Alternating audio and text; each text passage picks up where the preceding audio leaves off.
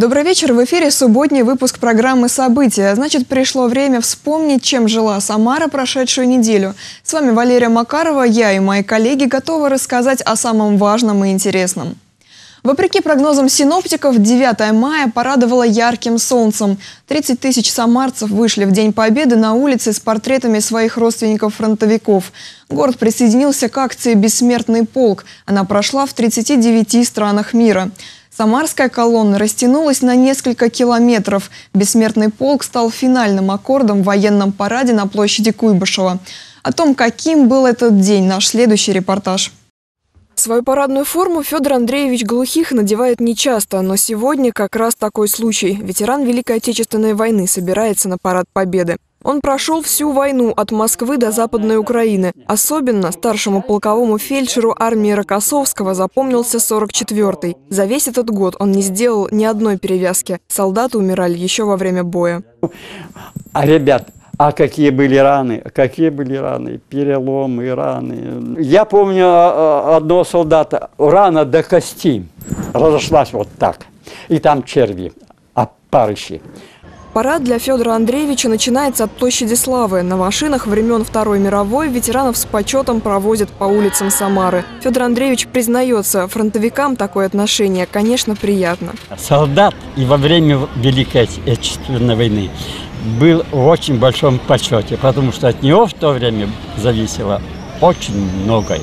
Ветеранам места на трибунах в первом ряду. С праздником их поздравили первые лица области и города. Подвиг солдат Победы будет жить в веках. Наш святой долг – чтить память погибших, заботиться о тех, кому мы обязаны мирным небом над головой и самой жизнью.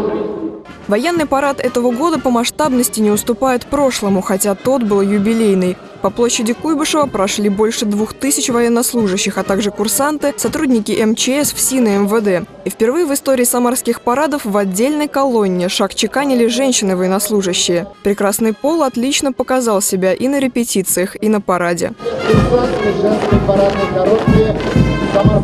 После по площади Куйбышева проехала многотонная военная техника, около 70 машин, в том числе танки Т-72 и ракетные комплексы «Искандер-М». В воздушной части праздника участвовали вертолеты Ми-2, Ми-8 и бомбардировщики Су-24М. Трибуны стихли, когда на площадь вышел бессмертный полк. Международную акцию в Самаре поддерживают уже второй год. Спустя 71 год после Великой Победы площадь Куйбышева приветствует колонну бессмертного полка. Это моя мама. Она была и на Сталинграде, и на Курске, освобождала Белоруссию и блокаду Ленинграда. Мы считаем, что эта память должна жить поколениях и передаваться. В этом полку все равны. Здесь танкисты, партизаны, медсестры, пилоты и пехота, чьи-то прадеды, бабушки и отцы. А это мой дед, старшина. Закончил войну в Берлине. Ранен был в берлинском метро. Так что бабушка, когда жена была его, смотрела фильм «Освобождение Берлина», всегда плакала, когда показывали там плавающие каски, где их утопили всех. Вот он там бессмертном полку прошли 30 тысяч человек. Это почти в два раза больше, чем в прошлом году. Кто-то к этой акции готовился основательно, а кто-то вышел на улицу вот с такими домашними фотографиями. Наверное, это тот самый случай, когда репортерскую работу можно и нужно совместить с личным. Мой прадед Федор Васильевич Ходневич прошел всю войну.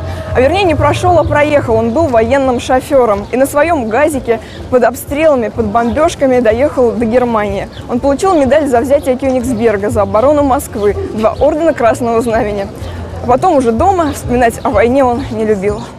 Даже после того, как колонна распалась, в городе еще долго можно было увидеть людей с портретами фронтовиков. Валерия Макарова, Григорий Плешаков, Алексей Золотенков. События. День Победы отмечали и на площади Славы. Там прошел митинг у Вечного огня, концерт и грандиозное световое шоу. Здание Белого дома превратилось в гигантский экран. Репортаж Алины Чемерис. Он помнит все, как всем классом прятались от бомбежек, как на его глазах убирали с улиц тела погибших, как мать в голодное время всегда старалась накормить четверых детей. Борис Игнатьевич Чикин в годы войны жил в блокадном Ленинграде. Его вместе с семьей эвакуировали из осажденного города в марте 42-го. Эвакуировались мы, конечно, встретили нас у Ладоги. Горячим щами накормили. Потом, значит, второе дали. И третье что-то, или сарделька, что-то было. Но мама не дает. Мама говорит, нельзя вам сейчас такие-то грубый корм. После торжественного митинга участники праздника возложили цветы к вечному огню. Дань памяти победителям отдали губернатор Николай Меркушкин, глава Самары Олег Фурсов, председатель городской думы Галина Андреянова, генеральный директор Союза российских городов Александра Игнатьева. Торжества на площади Славы продолжились и вечером. Песни военных лет, кадры любимых фильмов, жители города собрались на праздничный концерт. Это то, что не забудется никогда. Только что как раз друзья произнесли фразу «А неплохо мы живем». Глядя на это все, понимаешь, что люди отдали свою жизнь, защищая нас, защищая будущее своей страны. И у них это получилось. С праздником Победы жители Самары поздравил губернатор Николай Меркушкин. Победа в Великой Отечественной войне и сегодня остается для нас главной ценностью.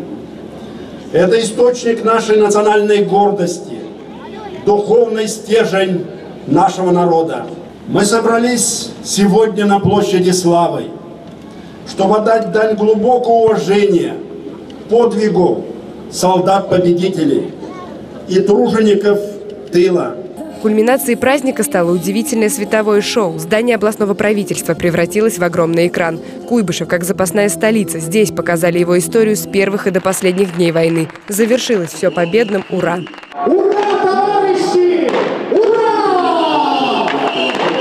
Память о погибших на войне сегодня зажглись сотни таких свечей. Люди несут их к вечному огню, чтобы сказать спасибо тем, кто подарил нам светлый праздник Победы годы войны на фронт ушли около полумиллиона куйбышевцев, каждый второй не вернулся. До 4 утра на площади Славы на установленных экранах изданий правительства транслировали имена героев, чтобы каждого из них в Самаре знали поименно. Алина Чемерис, Максим Гусев. События.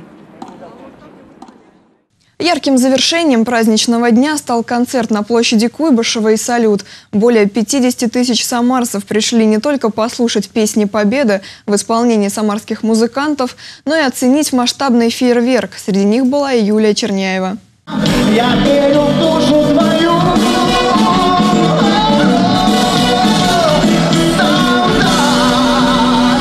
Известные и незаслуженно забытые песни военных лет, а также современные хиты звучали в День Победы на площади Куйбышева. В этом году концерт получился необычным. Организаторы выбрали новый формат мероприятия. Песни Победы исполняли и молодые самарские музыканты, и настоящие рок-легенды. Песня «Туман» сегодня была таким э, хедлайном в нашем плейлисте. Э, это песня про воздушных рабочих войны, про наших летчиков, замечательных ребят, которые и на фронте, и в тылу ковали нашу победу великую. Мы сейчас встречаемся, играем, поем песни, радуемся. Но надо помнить, какой ценой досталась эта радость.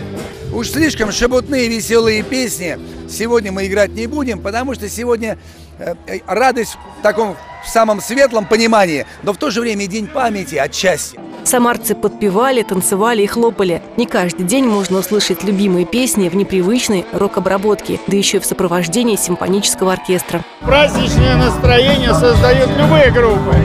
Поэтому это замечательно.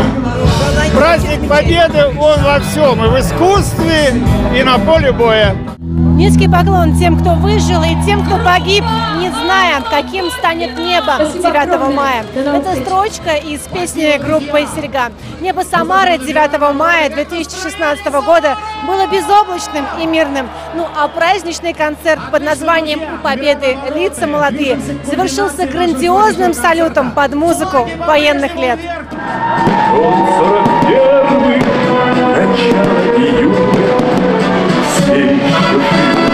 еще живы все, все, все. Юлия Чернеева, Артем Сулайманов. События. День Победы праздновали не только на центральных площадках города. Традицию отмечать праздники всем двором вспомнили в Советском районе Самары. Подарок ветеранам подготовили депутаты райсовета. На празднике двора побывала и Лариса Шалафаст. У девятого дома на улице Свободы собрались жители со всего микрорайона. Николай Иванович Трусов в войну подростком был в тылу. Как и многие мальчишки, мечтал попасть на фронт, но пойти в армию удалось только в 48-м. Он не понаслышке знает, как тяжело приходилось людям и может многое рассказать подрастающему поколению. Хорошо, когда вот молодежь, чтобы здесь присутствовала. Они же понятия не имеют, что такое война была, что такое война, как, как она проходила, кто, сколько людей погибло для того, чтобы завоевать им вот такую жизнь. Большой праздник для жителей организовали депутаты районного совета. Встреча с людьми – хорошая возможность узнать о проблемах конкретного двора из первых уст. Когда это во дворе происходит, это более востребовано, люди после работы выходят, радуются, ну и более тесное общение с жителями, выявление каких-то проблем, недочетов в работе, это более э, ну, плодотворно для вот выявления именно вот каких-то пробелов в работе. Жители решили не упускать хорошую возможность и попросили привезти землю, чтобы украсить свой двор цветами.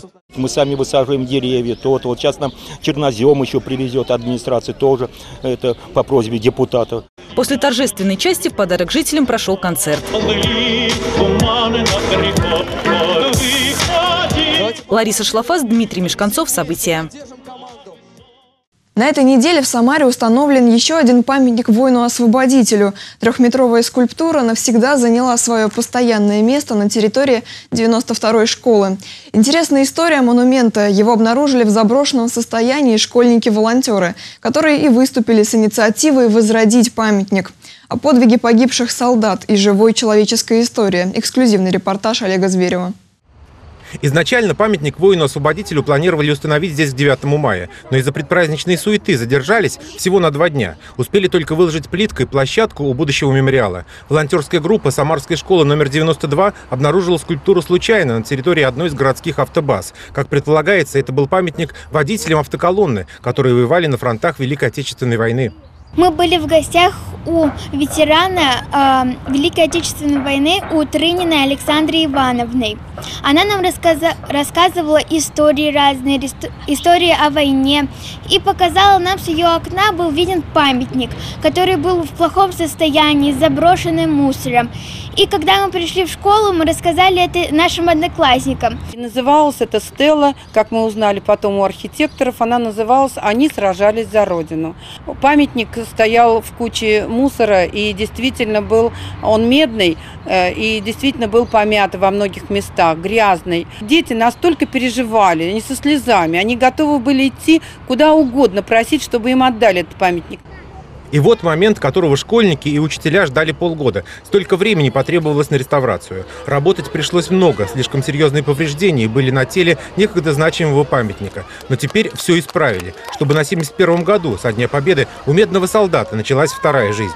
Был побит кувалдой, был э, оторван автомат, мы э, что-то выправляли, что-то заваривали, что-то отчеканивали новые какие-то детали. Теперь памятник навсегда останется на территории школы, напоминая и взрослым, и детям, и о минувшей войне, и о неравнодушии нынешнего поколения школьников и учителей, которые вовремя сообразили, как помочь медному солдату и возродить в городе еще одну святыню. Нам действительно важно, чтобы этот памятник был на нашей территории, потому что мы уделяем особое внимание э, патриотическому воспитанию. Официальное открытие мемориала у 92-й Самарской школы еще только предстоит, но уже сегодня прохожие не могли сдержать слез. Видимо, также весной 45-го возвращались домой их отцы и деды.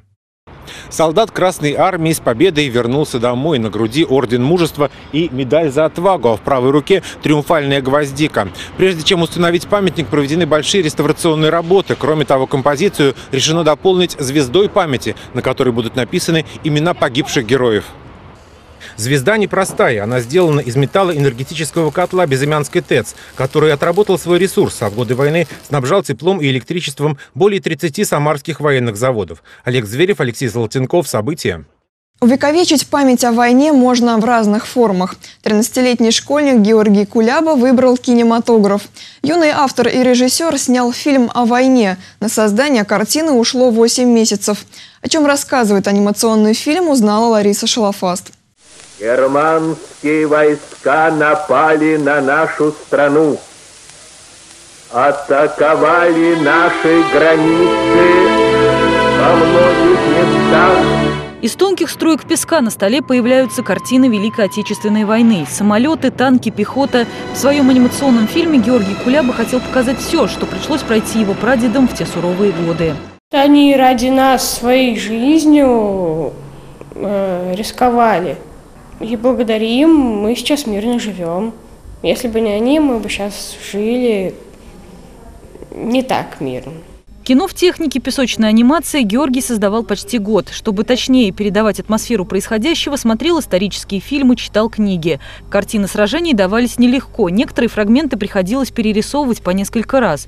Но подросток с завидным упорством кропотливо работал над каждой деталью. Преподаватели творческой студии уверены, через художественные средства тоже можно воспитывать чувство патриотизма. Этот день победы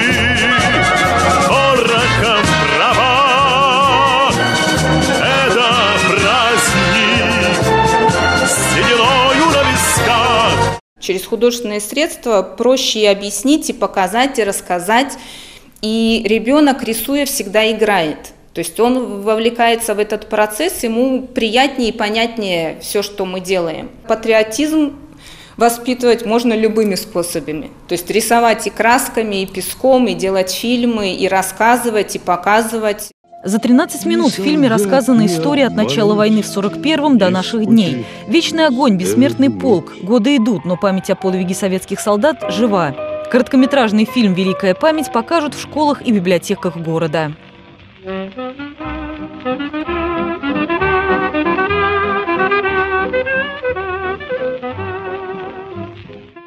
Лариса Шалафаст, Артем Сулайманов. События. У Самары может появиться новый туристический бренд. Молодые и активные горожане решили, что не время сидеть сложа руки и променяли уютные офисы на волнительные будни бизнесменов. Сейчас они занимаются тем, что создают сувениры с достопримечательностями столицы региона. Так что же такое бренд Самары, расскажет Мариана Мирная. Из поездок в другие города принято привозить в подарок друзьям и близким магнитики с видом той местности, где пришлось побывать. Только вот магнитик не самый практичный сувенир. Повесил на холодильник и забыл. Самарские молодые предприниматели решили исправить несправедливость. Но не просто расширить спектр подарков, а привязать их к родному городу. В Самаре, говорят, множество прекрасных памятников архитектуры и природных красот. И поэтому идея создать новый туристический бренд родилась как-то сама собой. Новый проект требует много времени времени и сил, поэтому ребята решили оставить скучные офисные будни и с головой окунулись в рискованное предприятие. Нам бы очень хотелось, чтобы наши майки надевали не только на дачу, но э, в целом мы изучили как бы рынок и спрос, мы опросили наших друзей, которые живут за пределами Самары, и на самом деле все очень хотят носить майки в Москве, например, чтобы как бы помнить о том и откуда они, и как бы чтобы рассказать, наверное, кому-то. В Москве Кремль, в Лондоне Биг Бен, в Париже Эйфелева башня, в Самаре Теремок, пивзавод, площадь Куйбышева. Логотипы, созданные ребятами, конечно, не официальный бренд города, но до чемпионата мира по футболу еще есть время. В любом случае, чем больше гостей Самары увезет с собой кусочек нашего города, тем лучше. Мы посмотрели э, список э, других субъектов Российской Федерации, которые как бы уже забрендированы, а, ну и поняли, что на самом деле какого-то нового современного прочтения как бы образа столицы как бы региона Самары, а на самом деле как в данный момент э, как бы были какие-то попытки. Пока у ребят есть только чехлы для мобильных телефонов, но совсем скоро появятся всевозможные атрибуты – кепки, свитшоты, бокалы, тарелки и многое другое. Мариана Мирная, Дмитрий Мешканцов. События. Самарцы делятся кровью. Вузы города присоединяются к донорскому движению. Первыми к благородному делу приобщились студенты Самарского национального исследовательского университета имени академика Королева. Зачем молодежи это нужно, попыталась понять Лариса Шалафаст. Чтобы поделиться своей кровью, студенты выстроились в очередь. Медики еле успевают регистрировать новоиспеченных доноров. Прежде чем приступить к самой процедуре, заполняют анкету, проводят экспресс-обследование организма. Мария Решетова донором стала впервые. Это малое, чем она может помочь людям, признается студентка. Я давно ждала вот 18 лет, чтобы сдавать кровь регулярно.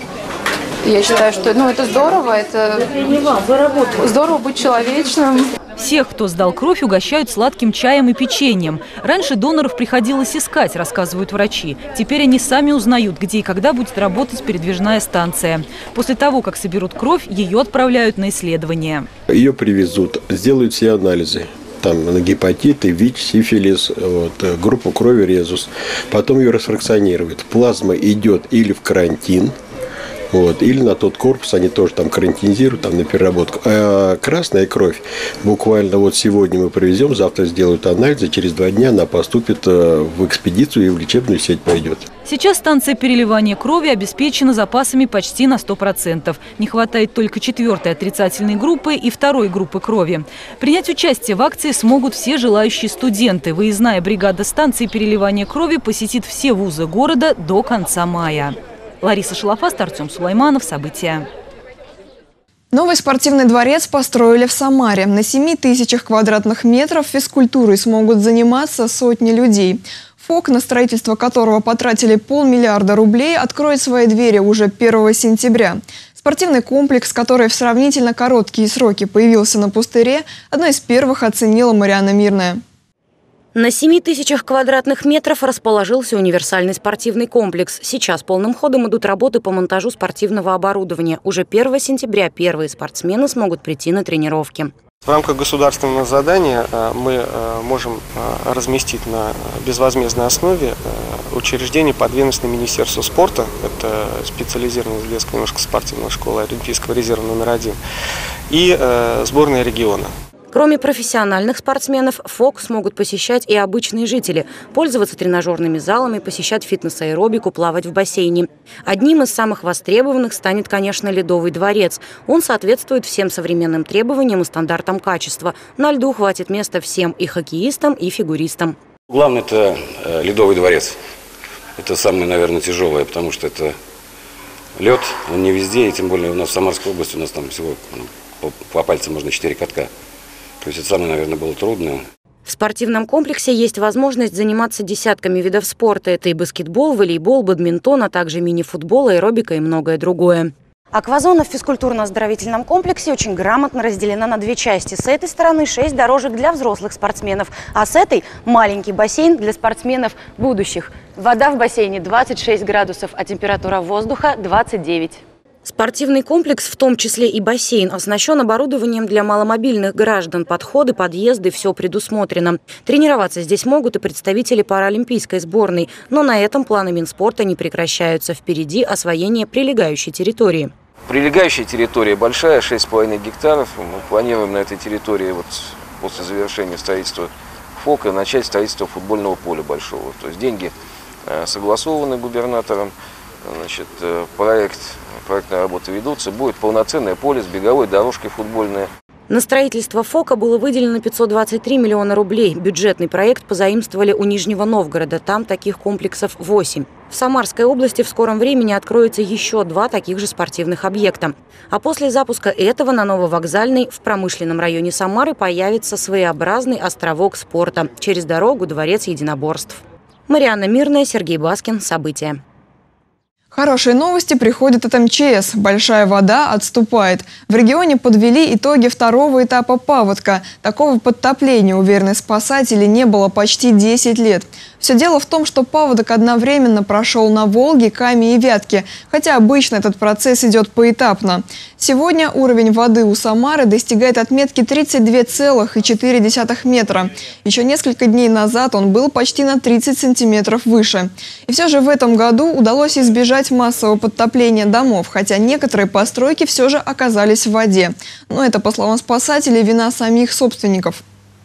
Здесь, конечно, мы э, с каждым случаем будем разбираться, будут направлены соответствующие обращения в прокуратуру, потому что порядок строительства на территориях, которые затапливаются, могут быть затоплены как в паводок, так и при катастрофическом затоплении, он очень жестко регламентирован. На затапливаемых территориях возведение жилых объектов нашими нормативными документами, действующими в Российской Федерации, запрещено.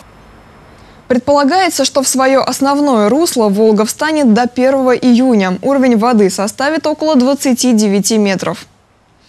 Рабочая неделя запомнилась нам именно такой. А я желаю вам хороших выходных, отличного настроения. Увидимся.